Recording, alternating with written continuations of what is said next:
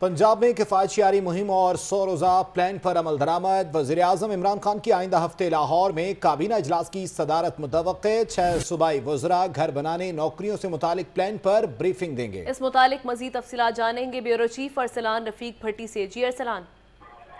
جی وزیر اعظم پاکستان عمران خان نے آئندہ ہفتہ لاہور میں کابینہ کا اجلاس ان کی صدارت کریں گے۔ یہ ذرائع کہہ رہے ہیں اور متوقع ہے کہ وزیر اعظم جو ہے ہر وزیر سے اس کی اپنی وزارت کے متعلق کارکردگی پر بریفنگ بھی لیں گے۔ اور جتنے اخراجات یعنی جو کفایت شہری مہم چلائی ہے، فاقی حکومت نے، اس کے حوالے سے بھی کہیں گے کہ تمام جو اخراجات جو ایک ماہ میں کم کیے گئے ہیں، اس کے حوالے سے بھی ایک رپورٹ تیاری کے لیے تمام وزراء کو ہدایات کر دی گئی اور اپنی اپنی متعلقہ محکمے اور وزارت کے حوالے سے وہ تمام رپورٹ تیار کر رہے ہیں۔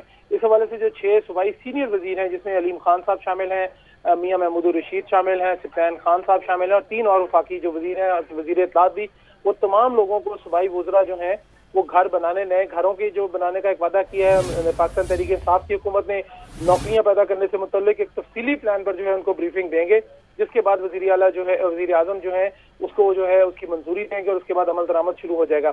اس حوالے سے ابھی جو ہے یہ ذرائع یہی بتا رہے ہیں کہ وزیر اعظم کی مصروفیت پہ ہے کہ وہ اگلے ہفتے تشریف لا سکیں گے یا نہیں لیکن بہرحال جو تیاری ہے سوزرا کی اور صوبائی محکموں کی وہ تمام اس کی شروع کر دی گئی ہے۔ جی, جی بہت شکریہ آپ کا۔ ارسلان رفیق بھٹی۔